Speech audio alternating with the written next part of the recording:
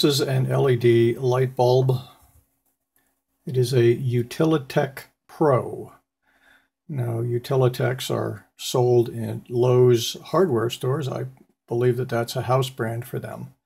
This particular bulb draw, draws 10 watts of power and it puts out 800 lumens. It had a part number on it of LA19DM.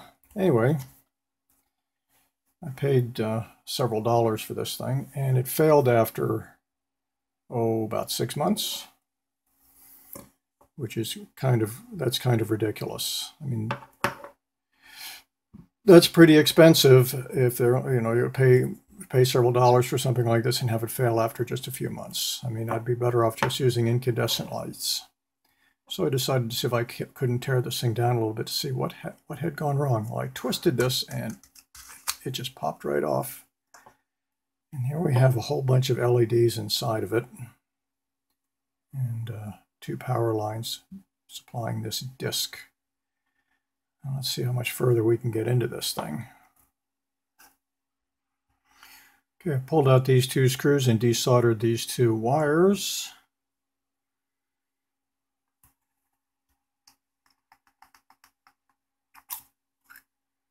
Hmm.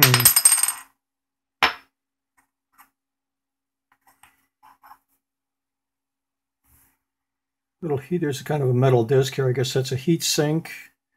It's got some heat sink compound on it connected to that disc.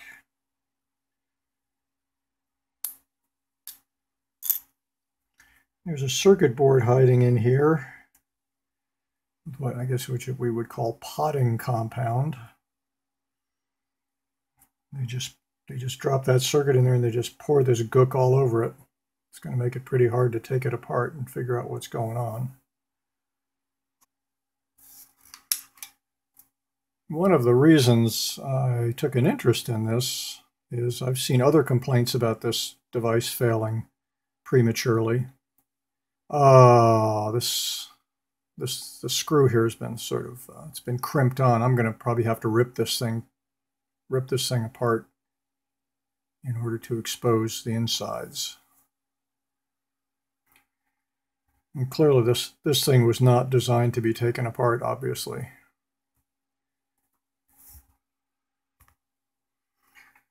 I've used my Dremel Moto tool to cut off part of the threads here, just enough to I could get a wrench on there and pull this thing apart. And it is just full of this potting compound. It just embeds everything. I just hope I can keep this thing intact enough so I can figure out what's going on without, I mean, look at this stuff. There's just tons of it. Starting to see some electronics. I'll keep digging. Well, I took my Dremel Moto tool to this thing. There's just nothing else I can do. Look at that.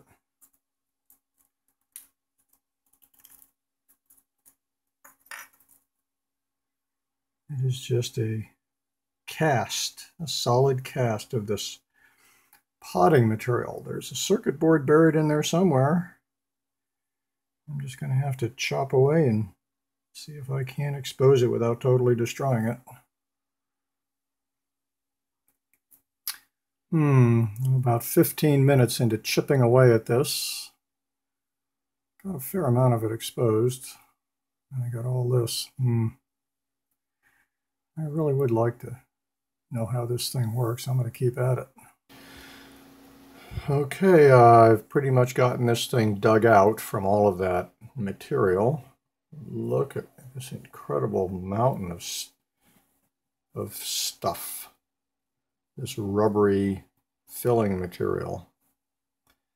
All just for this. Okay, I want to get rid of all this now. Get a closer look at this thing. Here's our circuit board a little closer with all of this material removed. This is the input right here. This is where the AC comes in, this point and this point. Okay, little cap between those points. Here's a 1 amp fuse. That fuse is actually good. Uh, and then that leads right into this chip, which is ABS6. That's a full wave rectifier. Okay, inputs there and there, output there and there. Um, leading into those inputs are these two resistors. See if I can show. Um, two 100, two 150 ohm resistors. Now this one is not conducting. This resistor is open, and that maybe maybe that's why this thing failed. But if you look real close, you can kind of see a little scar on it. And then from the output of this full wave rectifier, it goes into this, this daughter board here. Not sure exactly what it's doing. A Bunch of big uh, diodes, a big old transistor, some other things on the back. I'm guessing that that's some sort of a voltage regulator. Now this chip here is the brains of the operation. This chip is called SSL21082. This chip is a, uh, a driver for LED lights. It's made by NXP Semiconductors. Then on the output here, we've got your, your standard uh, diode and, and big old capacitor.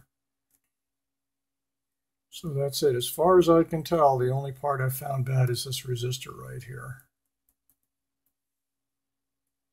Presumably that's what killed this thing. This is the data sheet on that um, driver chip for the LED lights. Probably this is used in lots of people's uh, LED light products. Um, quick scan down. Here's a block diagram of this device. And pin out. This is the version we have right here. That pin out. And here we have a block diagram circuit. There's our, there's our rectifier. And that's where I think our problem is, the resistors leading into it. Here's the output, there's our capacitor and uh, diode. And in our case, we've got two parallel tracks of seven diodes each. Here's another uh, reference circuit design provided by uh, NXP. And here's our driver chip again. Um,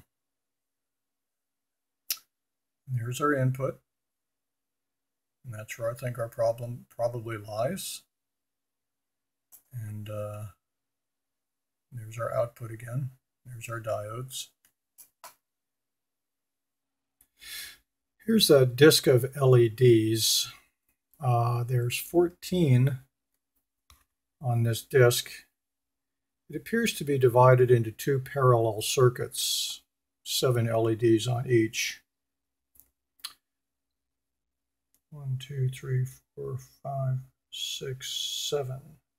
And then one, two, three, four, five, six, seven. I thought I would see if I could turn this on with an external power supply.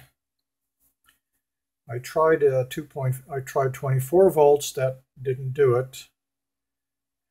The next, the next closest thing I had was a 30. And uh, it's probably a little on the high side, so I'm going to have to keep this really brief.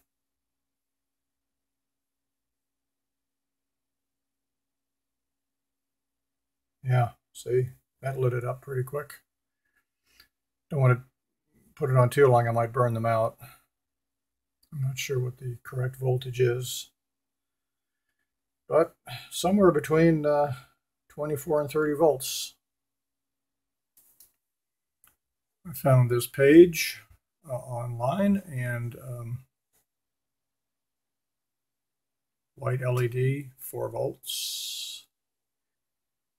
seven white diodes in series times 4 volts each. That should be 28 volts.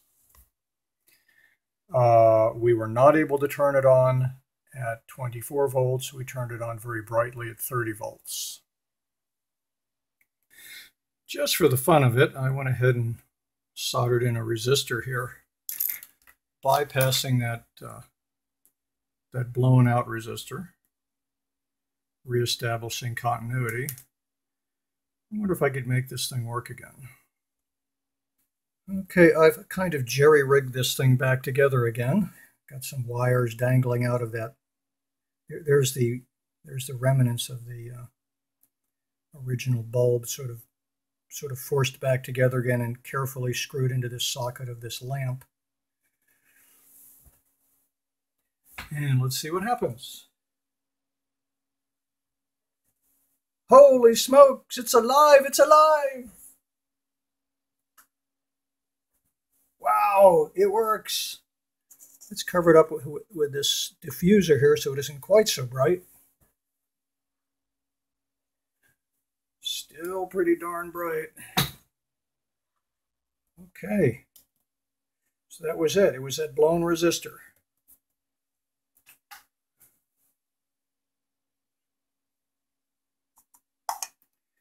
Not that I'm going to be able to use this again. I mean, clearly I can't use it like that. But that's it. I was able to troubleshoot it down to an individual component, replace it, and get the thing running. Fantastic. Well, um, I didn't think I'd be able to do it, but yeah, I got this thing running again. Amazing. So the problem is this little resistor right here coming out, or just coming right out of the input. I mean, this is you know, this is before you've even reached the uh, full wave rectifier. Two little resistors. Now, when I when I look at it real close, I can see that even the other resistor has got some little cracks in it. I suspect that these resistors either were too too weak for the job, or they were subjected to too much heat whatever, whatever it is, that's what caused them to fail. Uh, and I, I suspect that this may be the cause of, of many of these failures, those two little resistors. Now, um, I seriously suggest that you don't do what I just did. Um, that was that was a little over the top, I think for I mean this this this is actually a couple hours of work at this point for a, a bulb I could buy for what ten bucks, five bucks, who knows. Uh, my curiosity got the best of me, and I just couldn't couldn't help myself. Obviously, I can't use it in its present state.